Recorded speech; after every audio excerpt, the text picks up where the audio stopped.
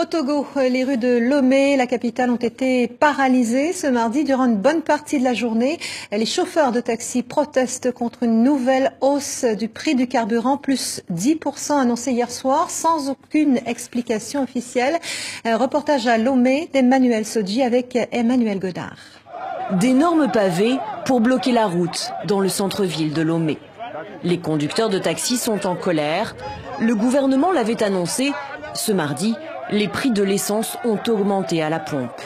Le super est passé de 476 à 524 francs CFA, soit 10% de hausse. Nous sommes ici présents jusqu'à ce qu'ils ne diminuent les prix sur les carburants. Les carburants, oui, c'est ça.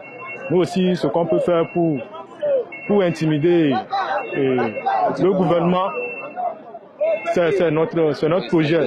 Franchement, ça ne marche pas au Togo. Ils ont augmenté le prix sur l'essence et, ils n'ont pas augmenté le prix sur le salaire. Ça, c'est ça, ça, dégoûtant.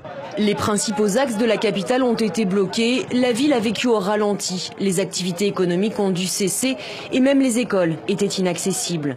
Dans le nord de la ville, un bus a été brûlé et une personne a été tuée par balle et plusieurs blessés. Dans l'après-midi, la police a finalement réussi à faire lever les barrages, mais les manifestants comptent bien continuer la protestation jusqu'à ce qu'ils obtiennent satisfaction, un retour à des prix de carburant corrects.